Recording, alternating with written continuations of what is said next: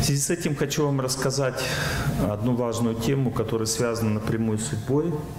Эта тема напрямую связана с выходом из равновесия. Напрямую связана, потому что это тема о чувствах, об уме, о разуме. Нам надо узнать, как это все работает. У человека есть ум. Что такое ум? Это психическая структура, в которой мы живем. В этой психической структуре есть э, две основные зоны. Есть внутренний психический цилиндр, есть наружный. То есть внутренний психический цилиндр отвечает за взаимоотношения с собой и состоит из разных черт характера. Наружный психический цилиндр отвечает за взаимоотношения с окружающими людьми и состоит из поведения человека.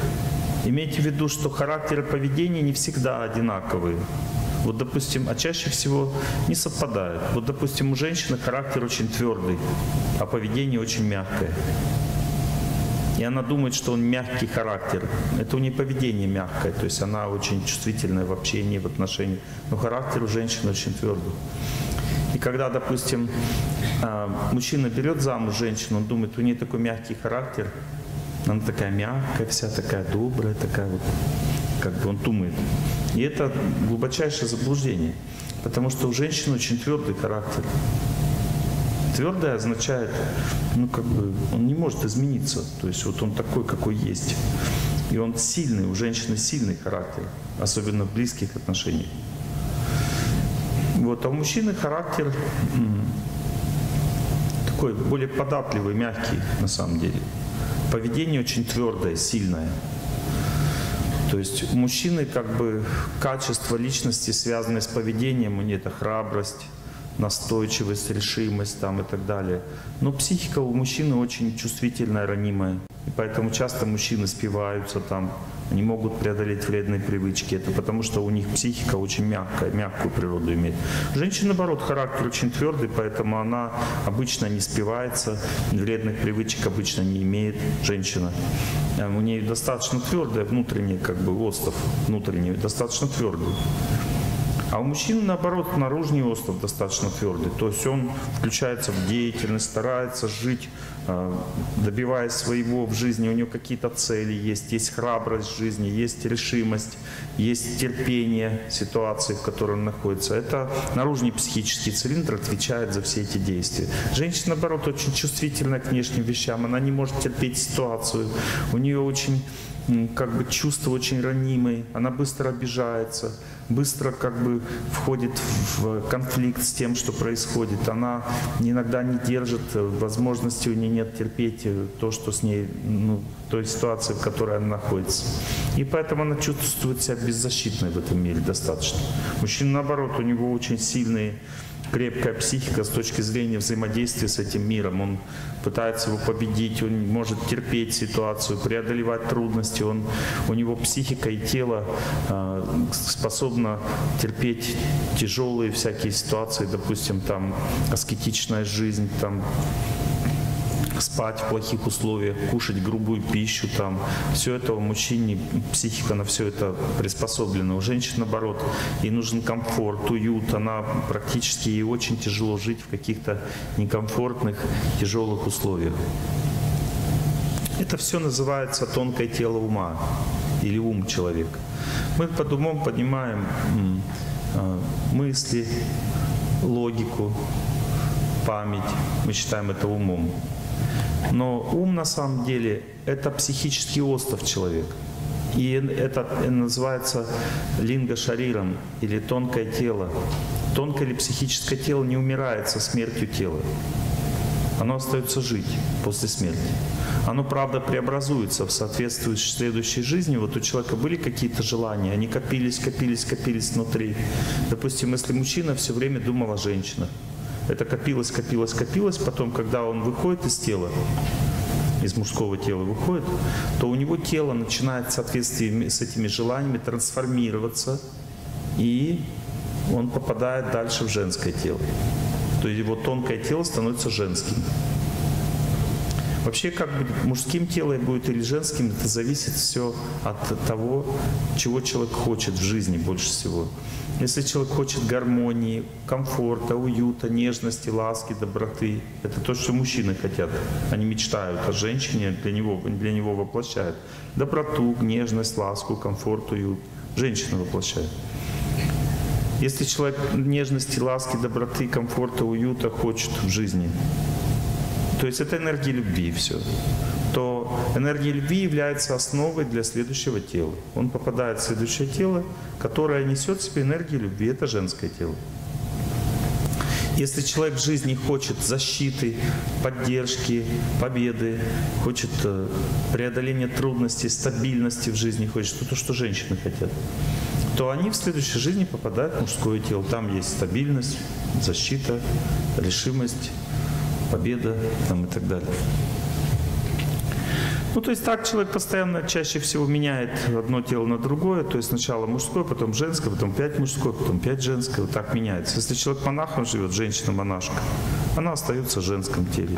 Мужчина, если целебат соблюдает, то он в мужском теле в следующей жизни остается.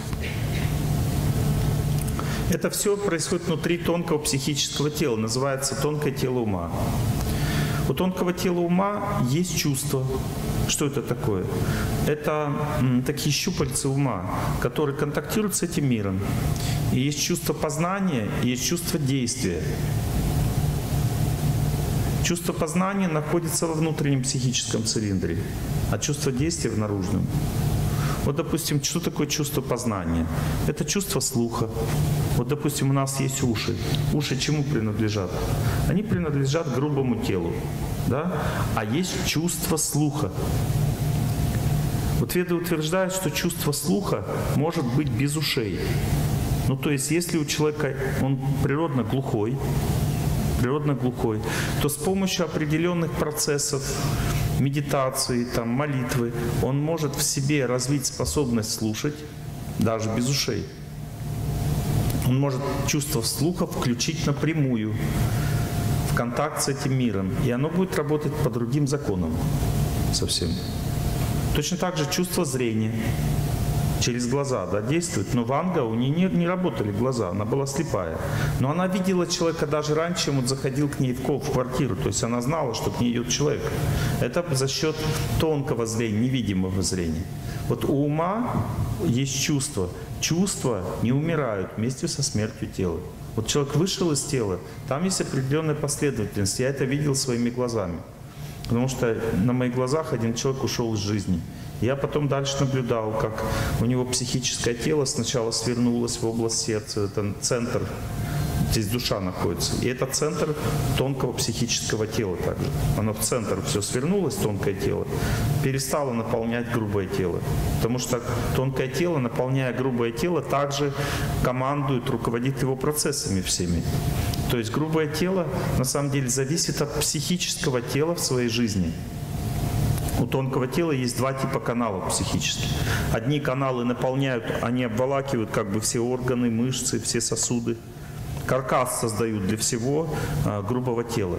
Вот все клеточки маленькие, они имеют свою психику. То есть психическое тело наполняет весь организм и руководит им. И психическое тело также наполняет еще и психику нашу. То есть психика означает взаимоотношения между людьми, означает психические функции внутри тела, то есть психическая энергия у нас также движется по телу, энергия воли, решимости, концентрации внимания. Это все психическая энергия, и там есть еще психические каналы, кроме физических каналов, которые работают, следят за работой сердца, там, печени. Есть психические каналы, которые следят за работой психики уже. Понимаете? И эти психические каналы напрямую связаны с чувствами. Чувства это как щупальца, которые получают эм, энергию счастья из окружающего мира, энергию счастья. И наоборот, защищаются от энергии несчастья. Вот, допустим, плохой звук идет, мы говорим, его выключите, я не хочу это слушать. Чувство слуха говорит, не надо мне это все, не хочу. Потому что э, энергия несчастья разрушает организм. А все клетки организма, все наши психические связи нуждаются в энергии счастья. Энергия счастья по-другому называется на санскрите прана или жизненная сила. Большинство людей думают, что прана идет только от природы.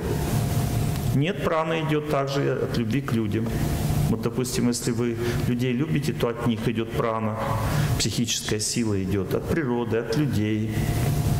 От пищи тоже идет прана психическая. Когда человек кушает, он получает прану, тоже жизненную силу. Вот. Ну, то есть это разные источники могут быть у психической энергии. И все эти источники, они получаются через чувства через чувства. Есть пять чувств познания или получения энергии счастья. Первое чувство, самое главное, это чувство слуха. На втором месте оно связано с разумом. Чувство слуха связано с разумом. На втором месте стоит тактильное чувство. Оно тоже связано с разумом. На третьем месте стоит чувство зрения. Оно связано с умом. Дальше идет чувство вкуса. Дальше идет обоняние. Оно связано... А, чувство вкуса, оно связано с психической энергией, с праной. И обоняние на последнем, на пятом месте стоит, оно связано с грубым телом. Вот это все психическое тело, которое я вам описал, вот сейчас у него есть чувство, у него есть центр, находится в области груди. Там в этом центре ума находится такой психический шар, в котором содержится вся память о прошлом. Там находится судьба. Вот здесь вот сердце судьба находится. Вот здесь. Внутри судьбы находится душа. Судьба — это просто энергия памяти о себе, о всех своих поступках, желаниях. И эта энергия памяти или судьба, она сильно соприкасается с энергией времени. Энергия времени, она выводит из этого шарика какую-то энергию наружу. И эта энергия, выведенная наружу, начинает взаимодействовать с тремя сферами нашей жизни. Первая сфера — это окружающие нас люди, которые формируют нашу судьбу. Вторая сфера – это наше тело. И третья сфера – это наши мысли, наше настроение там, и так далее. Почему я так назвал первая, вторая, третья? Потому что когда из этого шарика судьбы энергия выходит наружу, в первую очередь оно, она влияет на окружающих нас людей. То есть сначала судьба формирует отношение к нам. И это самый глубокий слой судьбы. Там находится наше взаимоотношение с окружающим миром. Вот эти ниточки незримые, которыми мы связаны со всеми людьми, а, самая глубокая часть нашей судьбы. Потом более поверхностный слой судьбы связан со здоровьем человека. Там находится здоровье. И самый поверхностный слой судьбы – это наше настроение, наши мысли, э, что мы в себе понимаем. Вот мы в себе понимаем, какие у меня мысли, я чувствую, какие мысли – какое у меня настроение чувствую. Но дальше, какое у меня здоровье, если человека спросить, он, надо задуматься, потому что ему трудно сказать, какое у него здоровье. Может быть, хорошее, но он точно не знает. Потому что иногда человек думает, хорошее, раз у него опухоль нашли. Казалось, не очень хорошее. То есть зона здоровья уже находится глубже, ее трудно понять. Еще труднее понять зону судьбы. Человек думает, жили нормально, все, вроде у нас хорошие отношения, а муж уже собрался уходить давно. Ну, то есть, вроде бы казалось, что все нормально. А оказывается, уже давно идет плохая судьба, связанная с личной жизнью. Ну, то есть, судьбу, связанную с моей жизнью, поступки, там, работа, понять очень сложно. Менее сложно понять свое здоровье. Легче всего понять свое настроение, свои мысли и все прочее. Знаете, что есть еще две психические структуры, кроме психического тела, остова. Ум – это психический остров. Там действует судьба, внутри ума действует судьба. Она дает нам, судьба нам дает счастье, страдания, хорошее настроение, плохое настроение. Все это дает судьба.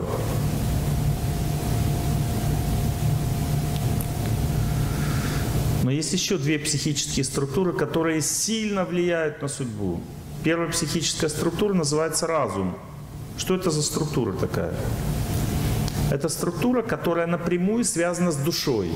Ну, то есть есть душа или я, да? И вот разум, душа живет внутри судьбы, она взаимодействует с умом. Ум а, – это вся вот эта среда, в которой мы живем, называется психическое тонкое тело ума. Нити незримые между людьми, все это наш ум. Мы живем внутри этой структуры. Но над этой структурой находится разум. Разум напрямую связан с энергией души. У души есть три энергии. Энергия счастья, энергия знания и энергия желания самосохранения. Желание счастья, желание знания, желание самосохранения. Три энергии есть у души. Она, все души на земле, все в этом мире души хотят счастья, все хотят знания и все хотят жить. Энергия знания формирует первый центр разума, который находится в области лба. Здесь находится стремление к познанию у нас в голове, стремление к познанию. Второй центр разума формирует психическую структуру, которая стремится к любви. Этот центр разума находится в области сердца. И если мы говорим «я люблю тебя», то есть это, это имеется в виду деятельность вот этого центра разума, ощущение любви, гармонии с кем-то. Третий центр разума формируется за счет желания жить. Это паховый центр разума. Там находится желание жить. Желание любви в области сердца, желание знания в области лба. Три центра разума. Все эти три центра разума, они контролируют э, ум. Вот смотрите, счастье идет, счастье и страдание идет из, изнутри, из глубины судьбы. Вот время воздействует на этот шарик психический, и там разные периоды. Мы говорили, что есть, ну, есть постоянное влияние времени, то есть мы стареем постоянно, и трудности увеличиваются постоянно. Но есть еще циклическое влияние времени. Вот это циклическое влияние времени, это, оно дает счастье и страдания, они меняются, как волны в океане. То счастье, то страдание, то счастье, то страдание. И это влияние циклического времени может идти на здоровье, на взаимоотношения наши с людьми и наши, нашу способность развиваться. Везде в этом есть и хорошие периоды, и плохие. И когда у судьбы наступает плохой период, то это означает, что счастье через какую-то зону, например, на здоровье, счастье поступает в организм очень мало. Энергии счастья не хватает для того, чтобы быть здоровым человеку. И тогда включается разум. Что такое разум? Это сила, которая дополнительное счастье ищет в этом мире. Разум. Что это за сила такая? Что, из чего соткан разум? Разум соткан из знания, из энтузиазма. То есть знание находится в области лба у человека. Человек изучает, что такое хорошо, что такое плохо, как правильно жить, как неправильно. Это центр разума вот здесь в области лба заведует этим. И когда человек узнал, как правильно жить, счастье больше приходит в его жизнь, и он наполняется счастьем, несмотря на плохую судьбу. То есть знание побеждает судьбу. Человек получает больше счастья, если он знает, как правильно жить, чем ему положено сейчас. Вот, допустим, положено вообще никакого счастья нет, допустим, от здоровья. Счастья никакого нет. Но человек узнал, что здоровье идет от природы. Он узнал это. Что, что значит узнал? Узнал это не значит, что слышал это Олег Геннадьевич. Как мне одна женщина вчера говорит, Олег Геннадьевич, я уже 12 лет лекции слушаю, но что-то на природе не бегаю. Это значит, что не дошло еще. Потому что есть три типа знания. Как бы. Первый тип знания, он вообще даже в разум не попадает. Это тот тип знаний, который большинство людей пользуются, это называется сбор информации. Люди изучают газеты, радио там, и они наполняют этим знанием чувства. Ой, там этих убили, там этих расстреляли, о, это то, это все, это хорошо, это плохо. Нет, это плохо. А, м-м. И вот они так вот все изучают, сравнивают, и это чувственная деятельность просто. То есть люди своими чувствами соприкасаются со знанием, заводят его в себя, это знание, и оценят, хорошо это или плохо, и до свидания это знание. Все, больше я с ним ничего не имею никакого дела, потому что мне больше это оно не нужно. Более глубокое знание проходит в разум. Когда человек хочет все-таки, ну, как бы, изменить свою жизнь как-то с помощью знания, тогда он начинает знание использовать практически. Ну что это значит? Ну, допустим, что-то узнал, что вот надо, допустим, бегать там по, на природе или вдоль ангары бегать, допустим, там хорошие, слава богу, асфальт постелили, и все бегают, и я как не буду белой вороной, как бы можно бегать там вдоль ангары. Вот. Начал бегать, допустим, да? Это уже второй слой э, деятельности разума уже. То есть это чувство получили информацию, допустим, надо бегать, чтобы быть здоровым. Ой, интересная информация. Давай проверим. И человек начинает бегать. Вот это уже второй тип э, познания. То есть человек проверяет знания на практике. Это уже деятельность разума. То есть разум уже здесь не чувство, взяли информацию, ввели в ум, и ум знает. То есть ум, в уме есть информация. Есть люди умные, то есть они много чего знают, а есть разумные. Кто такие разумные? Это те, которые проверили это знание. Вот умные люди, они говорят, вот это так, это так, но сами ничего не делают. Как, допустим, э, кто-то говорит, «Э, я пошла на лекцию Олега Геннадьевича, он говорит, да я слушал эти лекции, я знаю, я знаю, что за лекции. Ну хорошо, если ты знаешь, что ты так живешь, да нет, что мне так жить? Просто я знаю, все. Это в уме находится знание, не в разуме. Вот в разуме знание находится, когда человек проверяет, он на практике начинает все это делать, проверяет все это, и у него появляется, после этой проверки, появляется реализованный опыт. Он говорит, точно, работает система. Вот это точно работает система, это третий слой знания, который находится в глубине разума. И этот слой знания, вот этот третий, он сильно, сильно соединен с верой человека. А вера человека – это единственная штука, которая может реально поменять судьбу. Вот, допустим, а, у вас плохой период наступает. Что такое плохой период? Это когда память вся сосредоточена на боли. Человеку становится очень больно жить. Плохой период, он а, как бы ему очень плохо, больно. Это значит плохой период. И в это время разум отключается, не работает. Но если есть вера у человека, вера что делает? Она тащит его тащит туда, где ему будет лучше. Вот человек, допустим, он повержен судьбой, там муж ушел, или с работы выгнали там, или кто-то погиб там. Человек, а, ему больно, судьба его повергла как бы в, в уныние. И человек ну, одевается вот буквально, буквально ну, в полуосознанном состоянии. Он одевает спортивный костюм и побежал. Почему? Потому что он верит в природу. Он знает, что вот этот бег ему помогал, и он чувствует, что это единственный выход. Или человек в полуосознанном состоянии бежит к добрым людям, он верит в добрых людей, ему добрые люди помогали. Или он в полуосознанном состоянии бежит в храм, потому что ему Бог помогал.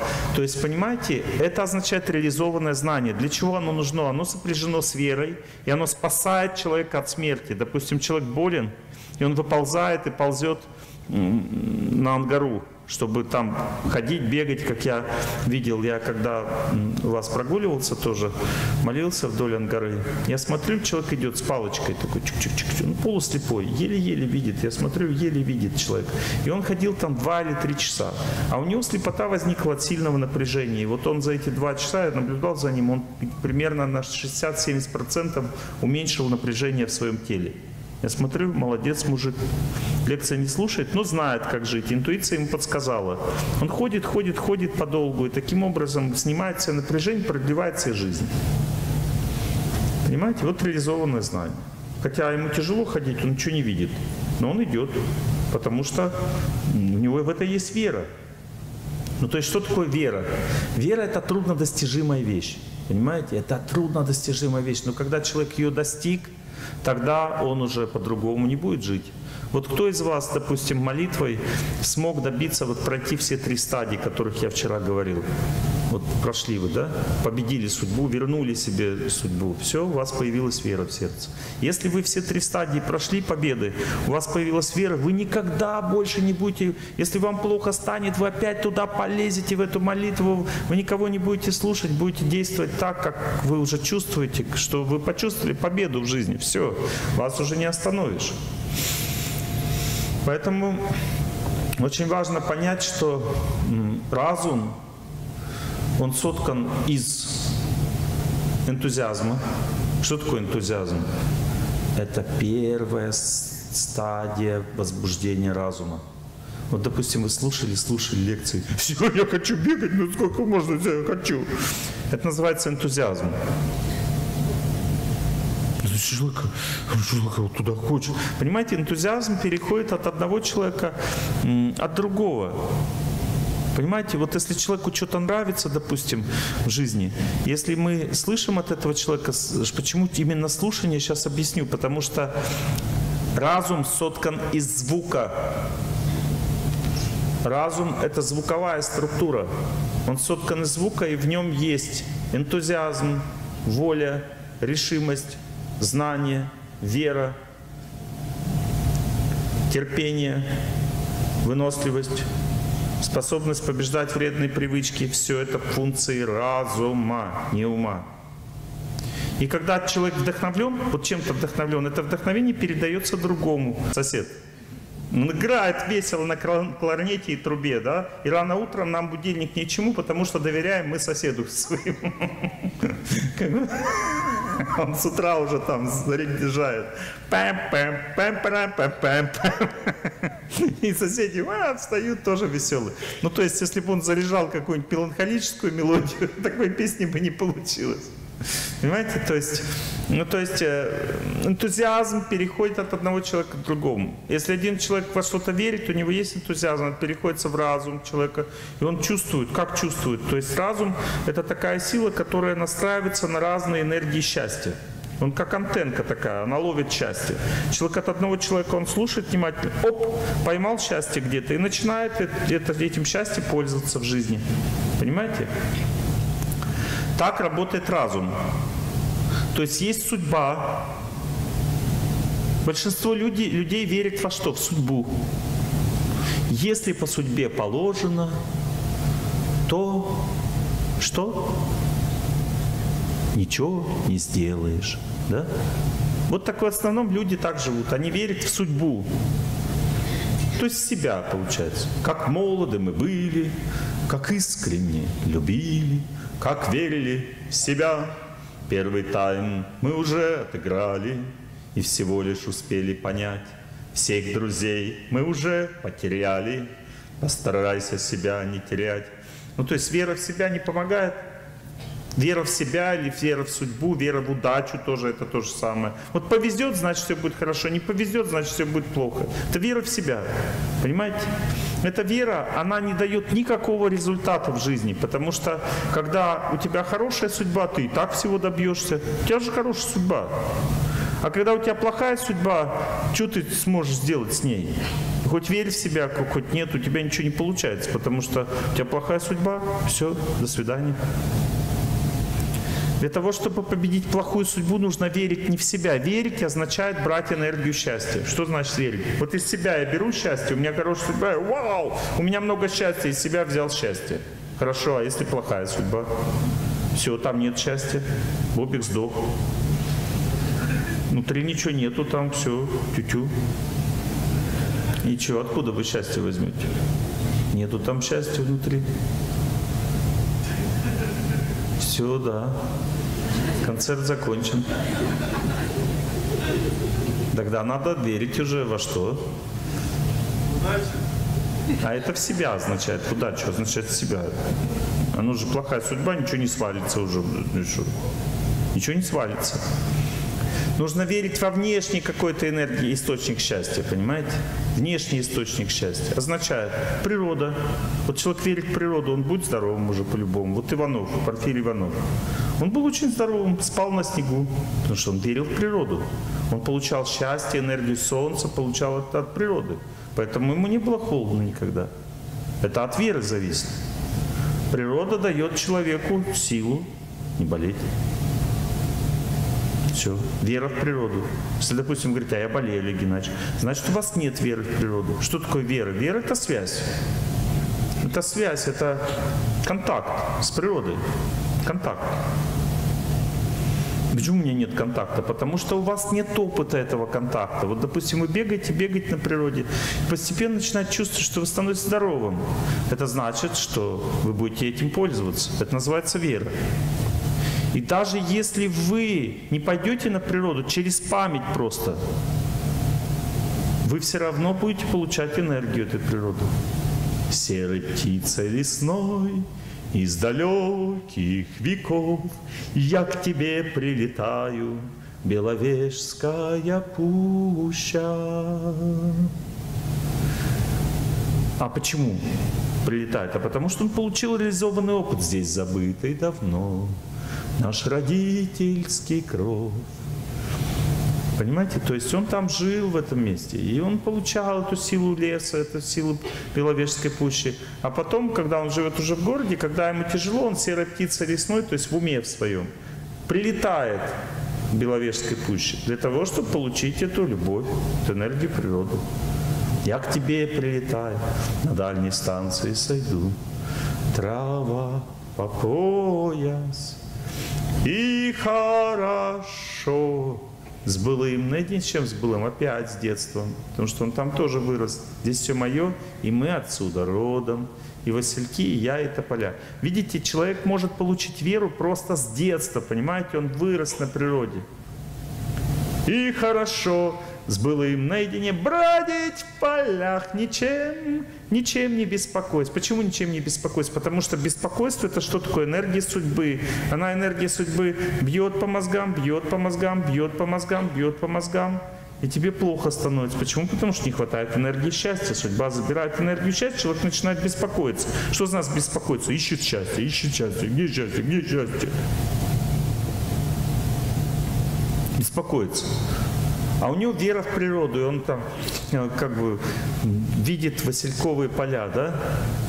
И такой, вау! Все, беспокойства нет, ничем не беспокоюсь, потому что наполнился счастьем. Все, нет беспокойства. Хорошо. Хорошо с былым наедине бродить в поля. Да? Живой воды попью у журавля. Понимаете, там журавль, и он, это его вода, живая вода. Почему живая? Потому что он ее любит. И он пьет эту воду.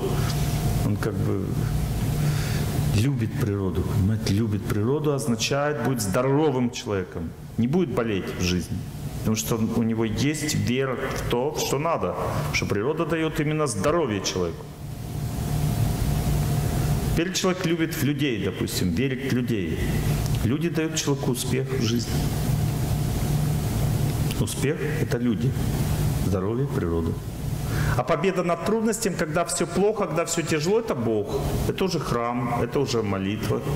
И ты побеждаешь эту судьбу. Допустим, судьбу садят, от тебя не посадить невозможно, потому что ты молишься.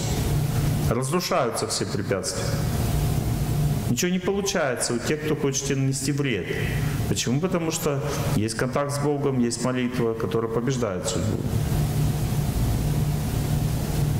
Все это происходит через разум, вся эта деятельность. Разум наполняется верой через практику. Если человек не практикует, он не может получить результат. Нужен опыт, практический опыт. Итак, есть, есть чувства, которые всегда ищут счастье. Есть ум, которым принадлежат эти чувства. Есть разум, который контролирует ум. Он говорит уму, туда не ходи, сюда ходи, снег башка попадет. Вот. Он знание дает ему. Больно будет. Вот. Знание дает уму. Разум. Говорит, я тебе сейчас разуму научу. Говорила мама мне про любовь обманную.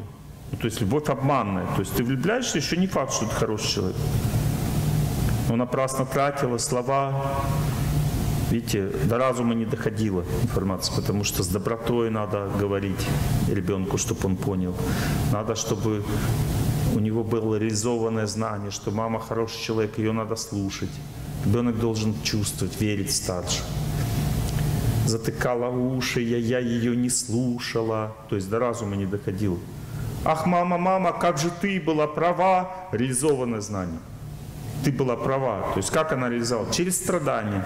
Ах, мамочка, на саночках каталась я весь день. Постречалась с Колюшкой, на свое я горюшка. Ах, мамочка, зачем? Видите, есть два варианта учиться. Как вы мне говорите, Олег Геннадьевич, я с вами не согласен. Хорошо. Есть два варианта учиться. Один вариант с помощью знания, а второй вариант с помощью жизненного опыта. Выбирайте один из двух вариантов. Какой-то вам подойдет вариант. Один из двух. Кто-то на своих страданиях учится, тоже хорошая учеба, а кто-то знания, получает знания и живет как надо.